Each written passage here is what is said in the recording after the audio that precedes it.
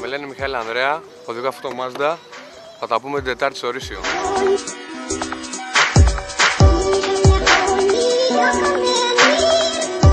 Καλησπέρα, λέγομαι Αντωνίου Νίκος. Θα συμμετέχω στον αγώνα του Ρησίου την Τετάρτη 18 Πέμπτου με το στραλετάκι μου. Σας περιμένω στην πίστα.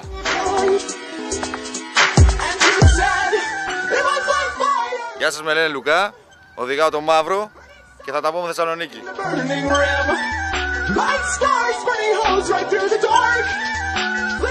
Καλησπέρα, είμαι ο Νάσος Ξενικός και θα ανέβω την Τετάρτη στο Ρήσιο.